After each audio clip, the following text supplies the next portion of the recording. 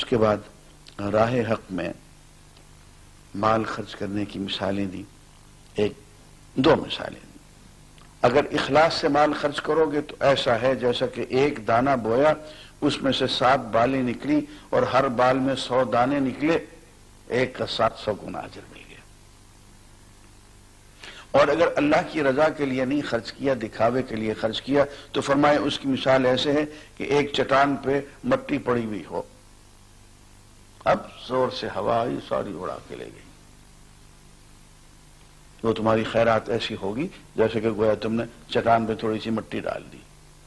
पानी आया हवा आई उड़ गया, एक जर्रा भी बाकी नहीं रहा। मैं देखो, अल्लाह के रास्ते में जो खर्च करते हो तो ऐसा खर्च करो जो तुम्हें अच्छा लगता रद्दी माल नहीं।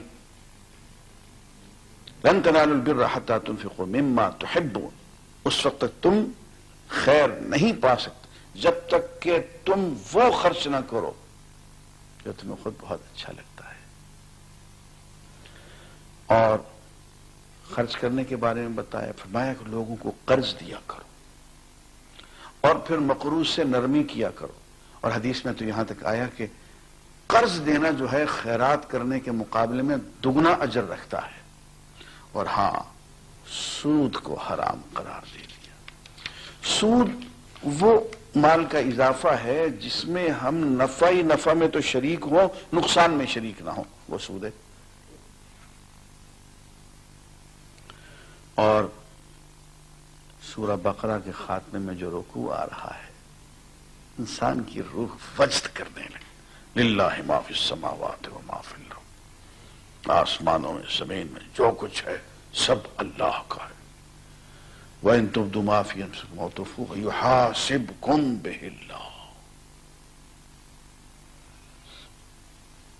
जो कुछ करते हो, ज़ाहिर करके करते हो, छुपा के करते हो, अल्लाह ताला तो हर चीज़ का मुहासबा करके रह मैशा जिसको चाहेगा माफ़ कर देगा, जिसको चाहेगा अजाब दे देगा। खुद जानता है, वही जानने वाला है। कहा माफ़ करना है, कहा माफ़ नहीं करना। और आगे फरमाया कि देखो, हमारे रसूल सल्लल्लाहु अलैहि वसल्लम अपने रब की आई हुई हिदायत पर ईमान रखते हैं। अल्लाह पे, फरिश्तों पे, आसमानी किताबों पे, रसूलों पे। और ईमान वाले सब रसूलों को मानते हैं। उनका यह शेवा नहीं है कि किसी को मान लें, किसी को ना माने। दीन का कुछ हिस्सा मान लें, कि कुछ हिस्से को ना माने। नहीं, बल्कि वे कहते हैं कि बस हमने सुना और इतात की। सम उतात करते हैं।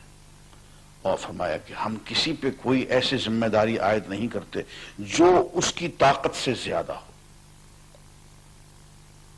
हमें मालूम है किस पे क्या ज़िम्मेदारी आयद करनी है। यहाँ से एक बात यह भी मालूम हुई कि बाज लोग कहते हैं, साहब, कब तो चालीस साल हो गए, शराब नहीं छूट रही। भाई, अल्लाह ने फिर भी उसको हराम करार दे दिया। फिर भी उसको छोड़ना फ़र्ज़ करार दे दिया। इसका मतलब यह है कि उसका छोड़ना मुमकिन है, वरना छोड़ना फ़र्ज़ करार ना देते। मैं लाफसन वसा जब तक कि वसत ना हो, ताकत ना हो, अल्लाह ताला कोई चीज़ फ़र्ज़ करार नहीं देते। फ़र्ज़ उस वक्त करार देते हैं जबकि उसकी वसत, उसकी ताकत पाई जाती है। तो फरमाया कि हम तुम पे जो ज़िम्मेदारी आयद करेंगे, ऐसी करेंगे जो तुम्हारी ताकत में होगी।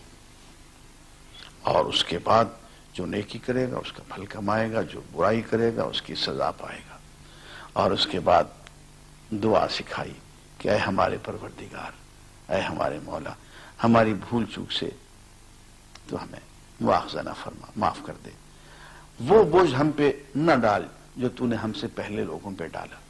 अय परवरदिगार, जो बोझ हम नहीं उठा सकते, जिसकी हमने ताकत नहीं है, वो बोझ भी हम पे ना डाल।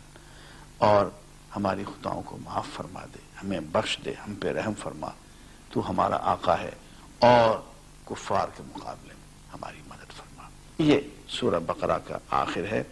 और हज़रत अली करम अल्लाह तजू फरमाते हैं कि जो शख्स ये हिस्सा कुरान मजीद का, ये तीन आयतें पढ़े बगैर सो गया रात को तो गोया बहुत महरूम रहा।